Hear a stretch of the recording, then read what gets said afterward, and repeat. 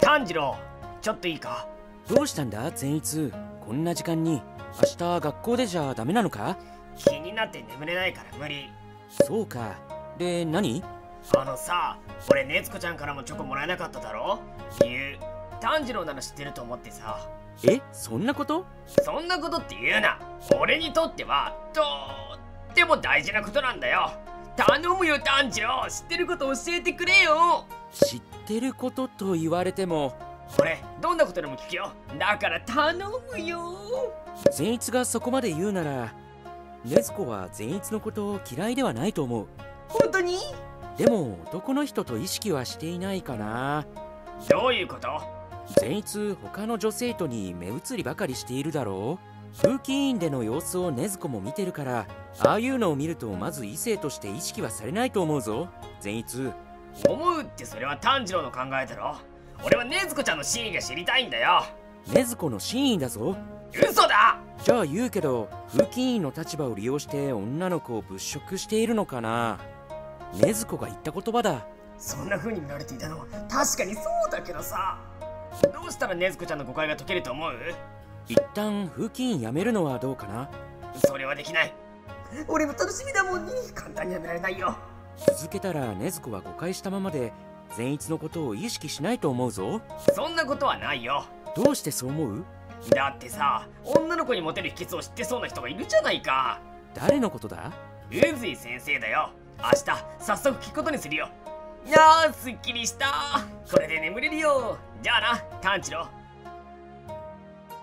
宇髄先生聞きたいことがあるんですけど。吾妻かどうした？今は授業中だろ？今の俺に必要なのは宇髄先生の授業なんて。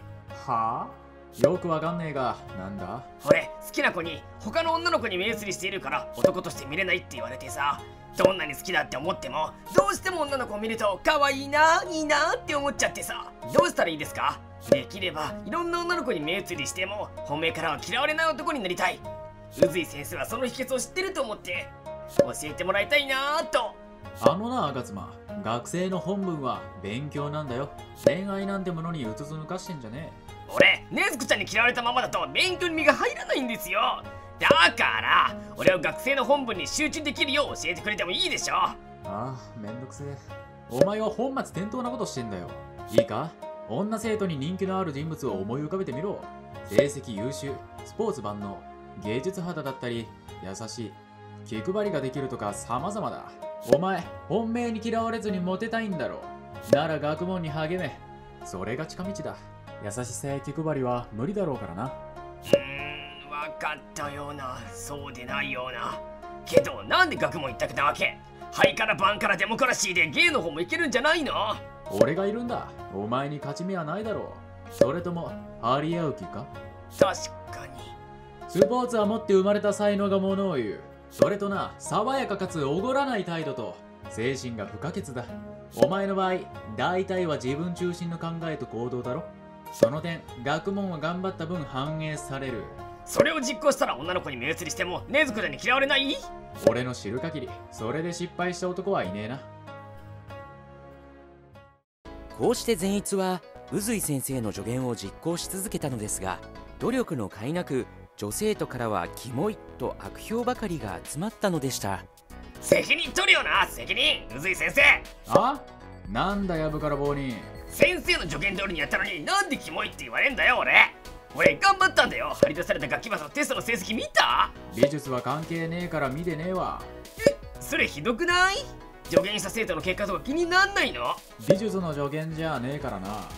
で俺にどうしろともっと手っ取り早くどうにかなる方法はないの？ド派手な方法がないわけでもねえが。それなんで最初に言わないんだよ？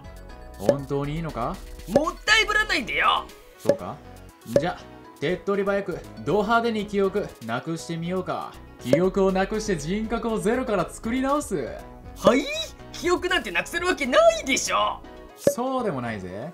脳に衝撃を与えればあるいは衝撃ってちなみにどんな方法？記憶を若きするって方法なら睡眠療法というのがあるか。上書きされちゃうのねずこちゃんとの思い出は？新しい人格で作った思い出の方がいいかもしれないだろ。そそう？他には？薬という手もあるが手に入れるのが難しいだろうな。ド派手に手っ取りバイクとなれば電気ショックや転落というのがあるな。どうする赤妻？どうせやるならド派手に行こうじゃないかのこの先生やばいんですけど激ヤバなんですけど言っちゃってて怖いんですけど。赤妻今すぐ美術室に来え嫌ですよ。いお前教師の言うことが聞けねえのか？何もしない？あ本当に？ああ。宇髄先生着きましたけど入りますよ。あおう赤妻芸術は爆発だい。って赤妻？これ誰だ？ねつこちゃん。やっぱりダメだったか。派手に失敗だな。記憶失う前に死んでまう